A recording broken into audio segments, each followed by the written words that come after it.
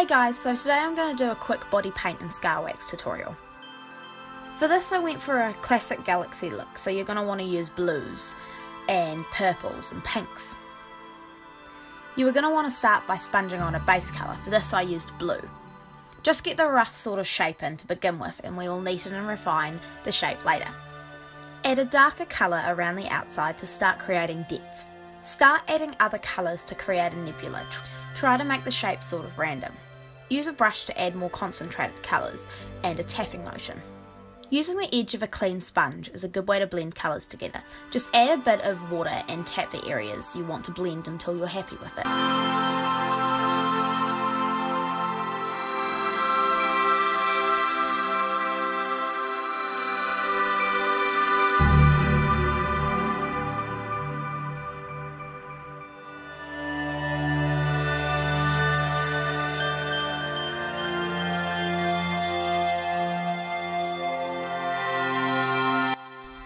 Start adding some darker colours to break up the light colours and add a bit more depth.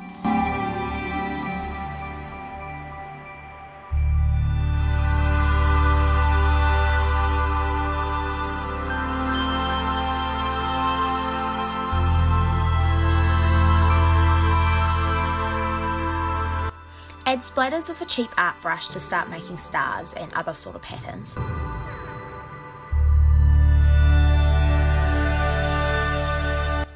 Take a folded up baby wipe to clean up your edges and create the exact shape you want to start putting your scar wax around. Moving on to the scar wax.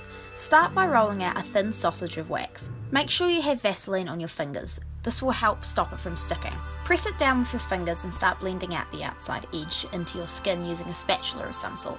Make sure this also has Vaseline on it.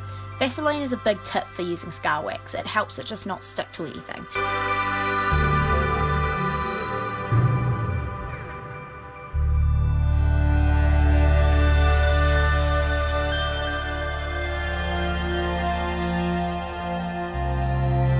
Once you are pretty happy with the blend, go in with your fingers and some more Vaseline and keep smoothing over the edges using light rubbing motions, being careful not to disturb your work too much. For the blood I used a silver metallic powder and glycerin to create a liquid.